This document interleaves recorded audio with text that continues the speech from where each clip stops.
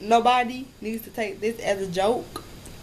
But a high school diploma is extremely essential. You, I'm sure you all have heard that you can't get a, a particular job without a high school diploma.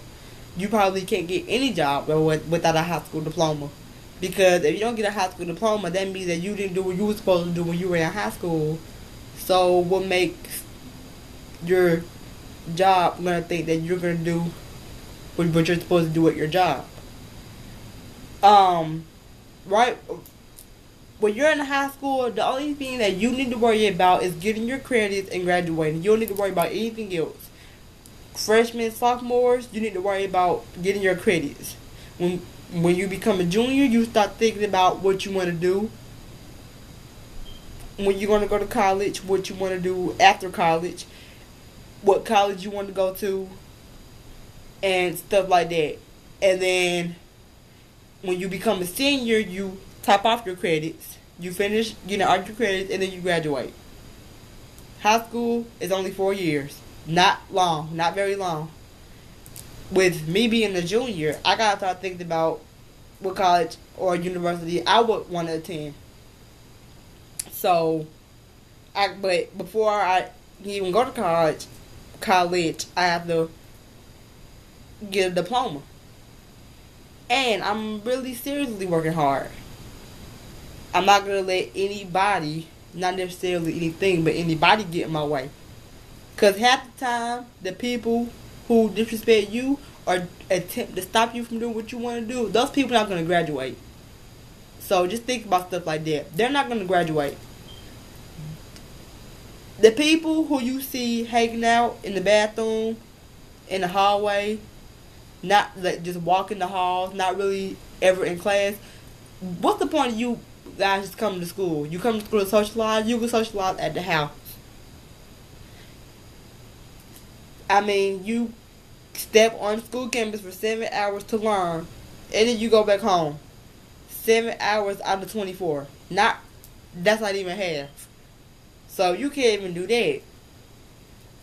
It's really no point of you even coming to waste your time.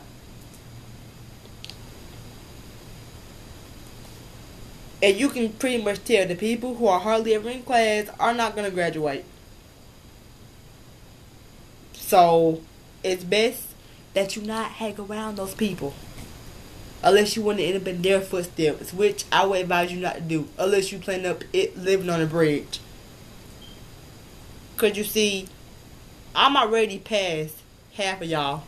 So because I'm just so talented. I learned from the internet my teachers, and of course myself, because I know a lot.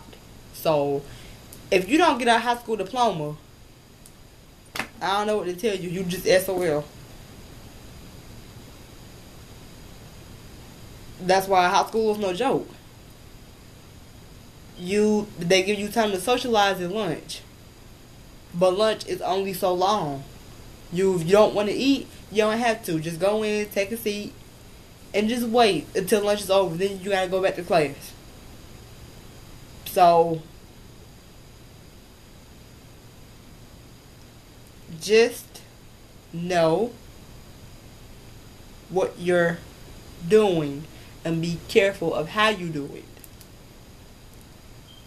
11th grade is where you really need to start making sure you got everything down pat know what college you want to go to, and finish getting your credits.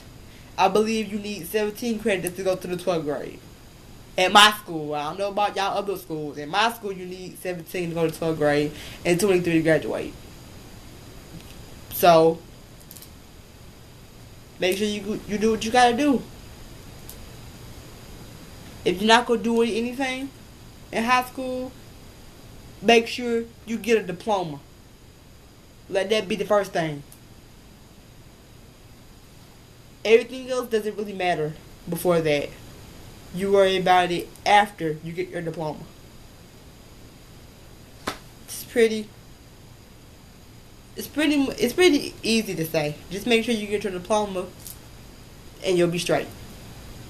So if you just do that, I promise you that you will have made your principal proud your teachers proud, your parents proud, and most importantly, you've done yourself proud.